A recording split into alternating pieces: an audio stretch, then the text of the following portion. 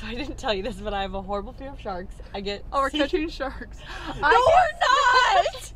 Sydney, no, we're not. Dude, listen, I get really seasick too. We go outside and the waves are crazy. We are not getting on the boat. Ah!